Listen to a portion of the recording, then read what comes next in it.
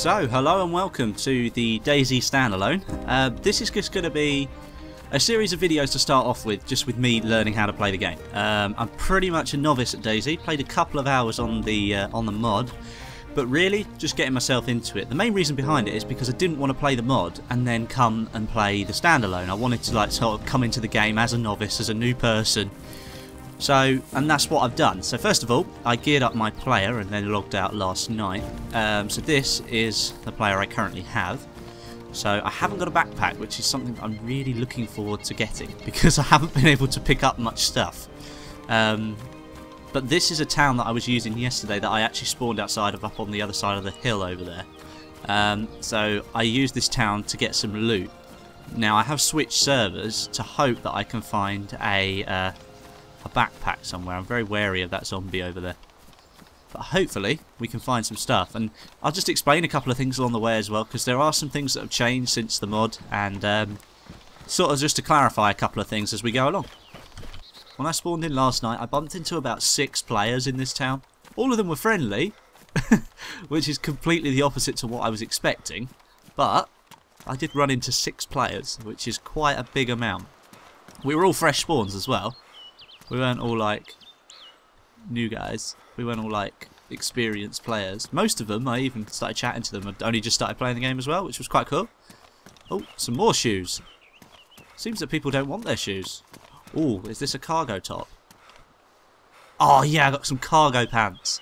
Now the cool thing about cargo pants is they have six slots over here on in the vicinity section. They've got six slots compared to my black jeans, which only have four slots, which is taken up by three objects at the moment. So you transfer your stuff over to that, like that, and then move away a bit, take the black jeans away, move back across, pick up the cargo pants. Oh, there's a pen as well, we'll just stick that in there.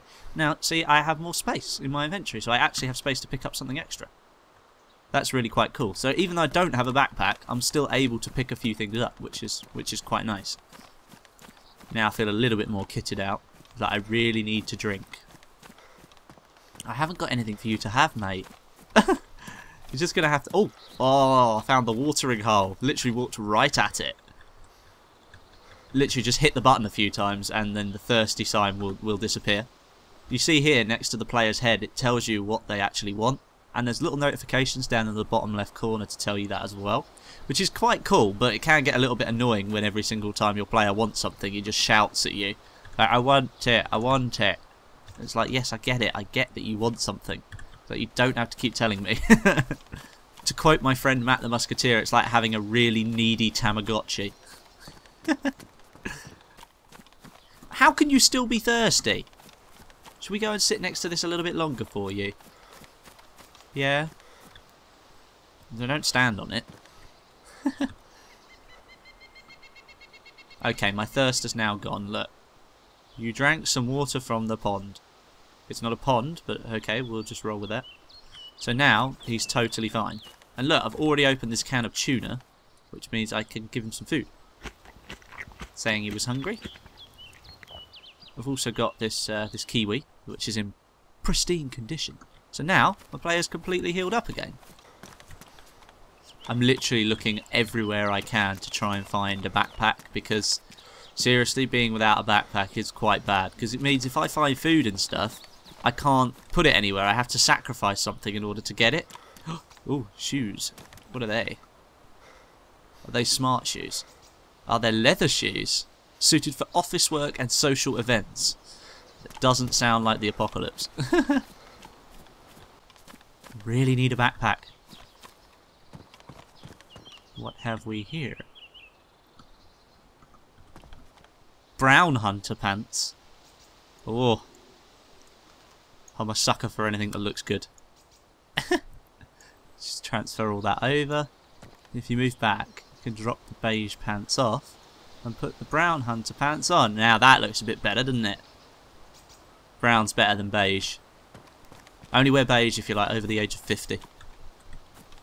Not open. There we go. Ooh, beanie hat. Are they sunglasses? They are. They're sunglasses.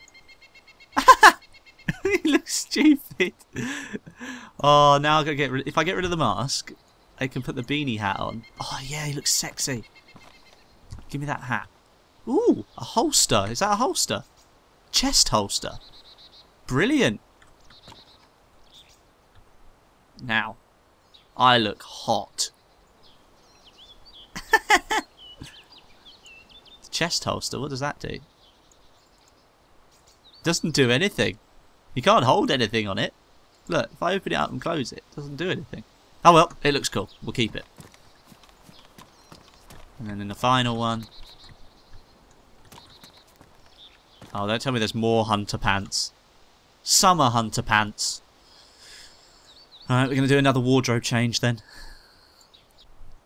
Oh, I look boss. If ever there was a fashion show in DayZ, I'd bloody win it. Let's go. Right. So it looks like we're fully geared up. Let's see where uh, see where the road takes us. So um, I just headed back to the watering hole before we uh, before we set off. Now I'm not entirely sure where I am, and it looks as if the map I got uh, doesn't actually open. so uh, what I'm going to do is I'm just going to head along this road, and hopefully it takes me somewhere.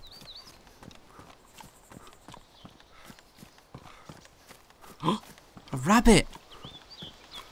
There's a rabbit. Hang on. Hang on. Where did it go? That's like one of the only bits of wildlife in DayZ at the moment. Is a rabbit. There's like, there's no pigs, there's no cows, there's nothing at the moment. The only thing you can get is a rabbit. Oh, has it run away? Oh, damn it. I don't know if you saw it. But yeah, that's one of the only bits of wildlife in DayZ at the moment. Pretty rare. And I had a hunting knife, so I could have killed it. This road is so fucking long. Looks like a hut down there. Could offer a, something. Could offer something.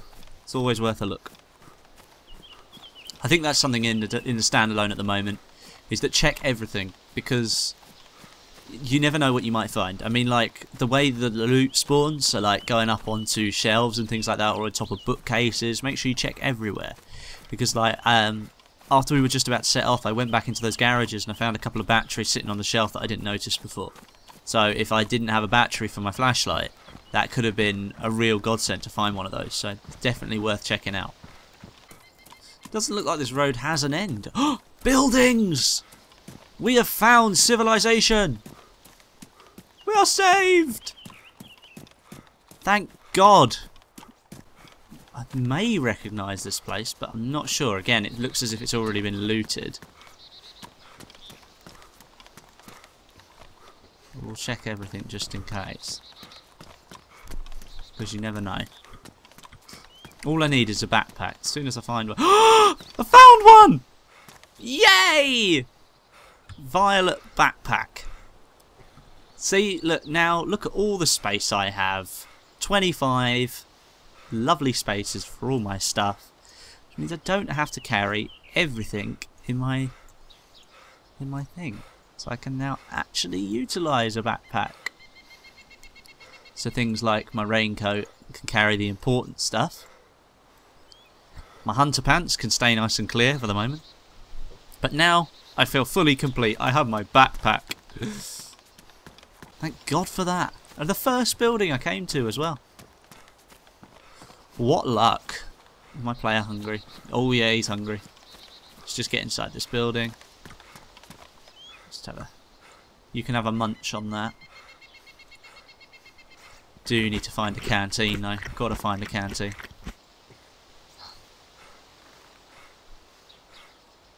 Right, ate some canned tuna. That's what's next. That's next. If I open that now. Open can of beans. See, look. If you open it with a knife, you lose 28% of what was in there. Now, if I'd have used an actual can opener to open that, I would have got 100% of out, out of it. So I actually sacrificed something so that I can open it. Still, it's better because the can opener was so rare, you couldn't even bloody find one. So, I still feel that that's a good thing. So, what's that? Pristine shirt, tear into rags. Combine those rags.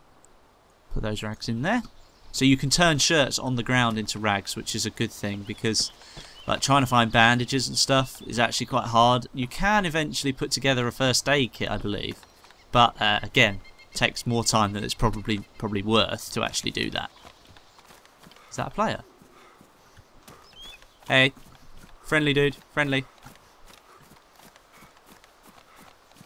Hello, I'm friend. Hey, I'm friendly. Don't shoot, please. I'm not gonna shoot. Don't worry. I don't have any ammo anyway. Go back. Bye. I guess he didn't want to be friends. Now I'm sad. Eat some beans. See, look, you lose 30%. Well, you leave, lose like 25% each time you eat one. So now that I've lost that because I used my knife to open it, I don't mind too much sacrificing that much. It's not too bad. It's just over a quarter though, so it means that it definitely takes away at least one helping of the food, which is quite annoying. But I guess it adds to the realism of the game, which is fine with me. Ooh, backpack. Is it bigger than mine? It's the same size, but it's it's green. I think I might I think I might blend in a bit more if I have a green one rather than the purple one. Plus, I look like less of a girl. No offense to girls. Now, I might look a slight bit different to what I looked like uh, in the previous clips. That's because I had a gaming session with Matt the Musketeer and a few other friends. Met them up here at the airfield where pretty much they've been holding it down for the last couple of days. Just been making my way up there very slowly, learning the game. But I'm now up here, so I'm now fully kitted out with my M4A1, uh, my Hunter backpack as well. Uh, I've actually got a vest on, which allows me to carry even more stuff. So, and I've got this Kevlar helmet that I'm wearing, which makes it uh, harder for people to hit me. So, if somebody fires a shot at my head, it doesn't take as much damage uh, as it normally would, especially when they're firing with Stanag rounds. So, yeah, I'm definitely kitted out now. I think I'm going to end this episode here simply because that's the learning curve for me nearly complete. There's a couple of other things I've got to learn. I mean, the combat's still relatively new for me. But I'm really starting to enjoy DayZ. Uh, don't know why I waited this long to actually get into it. Probably could have jumped into it in the mod and it'd still be that fun. But yeah, I'm going to end the episode here, guys. So if you have enjoyed it, please do leave a like and a rating and leave some suggestions because I'm brand new to this. So if you've got anything that you want to see from the standalone that you want me to try and demonstrate, if you've got any suggestions for things that I could do in the game, sort of like, I don't know, maybe going on certain missions or something like that, then do leave them in the comments and maybe if you want to see the live con with Matt the Musketeer and all the other guys, I might post that as well. But thanks for watching guys and I'll catch you in the next one.